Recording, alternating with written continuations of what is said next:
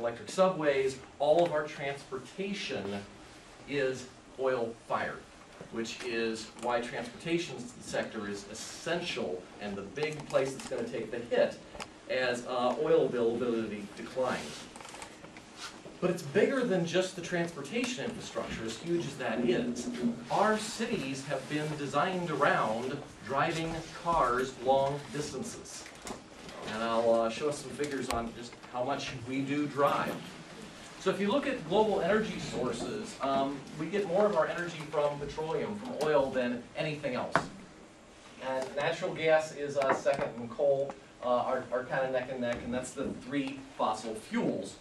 Um, but I'm focusing on oil here for a reason, which if you look at our uh, energy reserves, whether you look at what's called proved reserves, where we know it's in the ground, we know where it is, we've got a pretty reliable estimate of how much is there, or we look at potential reserves, some very rough estimations of how much resources are in the ground across the world.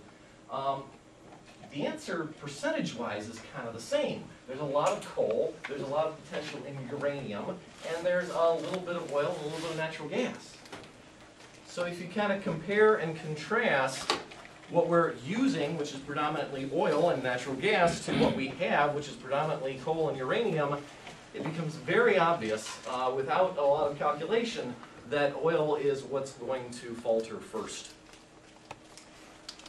Well, oil's a fossil fuel, they're not making it anymore, it's an inheritance, we're burning it, there's no way to recover that, you burned it, so how finite is this resource is kind of the uh, trillion dollar question.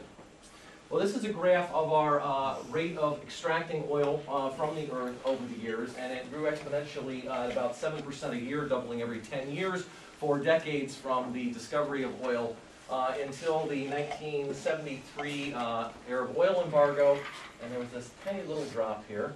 And then we went right back to massive consuming until the uh, fall of the Shah of Iran. Iran immediately, uh, really overnight, stopped exporting oil. Prices doubled again. There was a uh, drop-off in global oil consumption.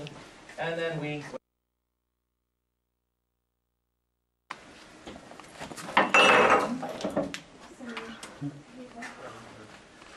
So we're trying to look at how long this kind of resource will last. This is the kind of analysis you typically see. Um, we have uh, proved reserves in the world of uh, 1,200 billion barrels, and we're consuming 31 billion barrels a year. So the oil will run out in 41 barrels, uh, 41 years.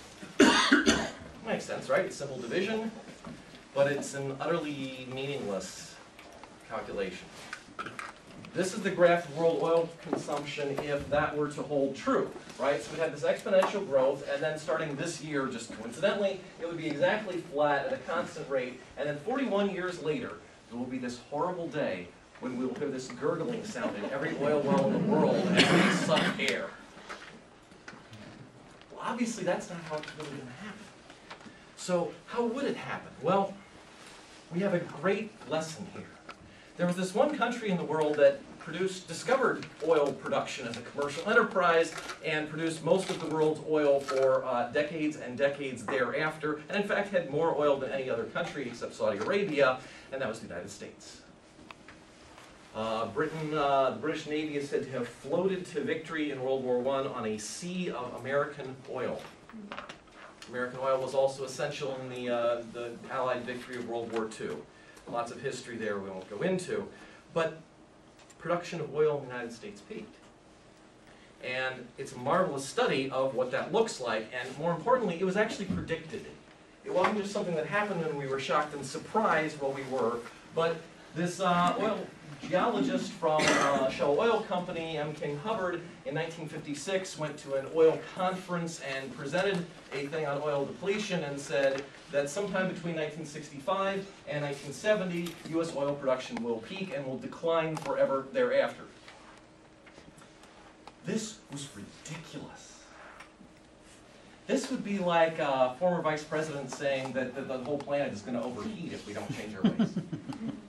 Um, well, oil production peaked in 1970, and suddenly it wasn't so ridiculous. I mean, he had scorn heaped on him. This, this was damaging to his career until it came true. So how did he do that? Well, it that would be a worthwhile lesson. Uh, they didn't have uh, Excel back then. Um, 1956, yeah. Uh, so he used graph paper, and he graphed uh, global oil production um, historically, uh, up to 1956 here. And he did an estimate of how much, or this was the proved reserves in the world, so he knew how much that was, and extending the graph, he could figure out how long that would last, kind of that division we just did. And then he took a guess at how much more oil was in the country that we hadn't exactly found yet, but based on the size of uh, known fields and things, he could project that. And he made this interesting assumption. He made this bell-shaped curve. He had two different assumptions about how much oil there might be, a lower bound and an upper bound. And he drew these bell curves on consumption. He said, about the time we've exhausted half of the total resource, production will start declining. Because an oil well isn't like a gas tank, where you stick a big straw in it and you suck it down until you hit the bottom and it runs dry. Oil wells are like water wells. So if you've had a country well, right, you know, you can pump the water out of your well too fast, and it does suck air. But then more water trickles in later and you're fine, right? There's a recovery rate. And oil wells behave that way as well. And uh, so individual oil wells, individual oil fields follow a Hubbert curve, which is a bell-shaped curve of their production rate. And if you add up the output of all the wells or all the regions or all the countries, you still get this bell-shaped curve.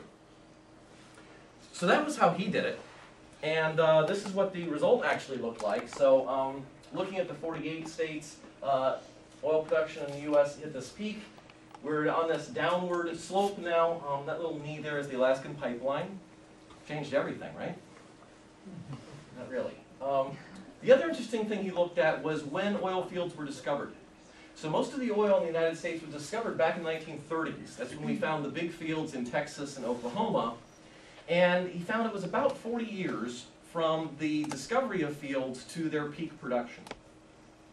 And so applying those two uh, approaches, he fairly accurately uh, estimated the peak of U.S. oil production. Well, what did we do? I mean, we, we peaked, right? So that was horrors. Well, here's what we did. Um, here was our peak in production, and our consumption, uh, other than that, you know, price spike decline has continued growing, and uh, we just imported. So that's the 59% uh, of our oil that now comes from overseas, when in the 1940s we were a massive oil exporter and fueling most of the world. Um, what this also shows is uh, demand response to price spikes, right? So we had a small decline in demand after the 73 embargo, a large decline after the 79 uh, fall of Iran, and then we see actually another decline here as a result of the price spikes we've seen in the last few years. But it's a small decline.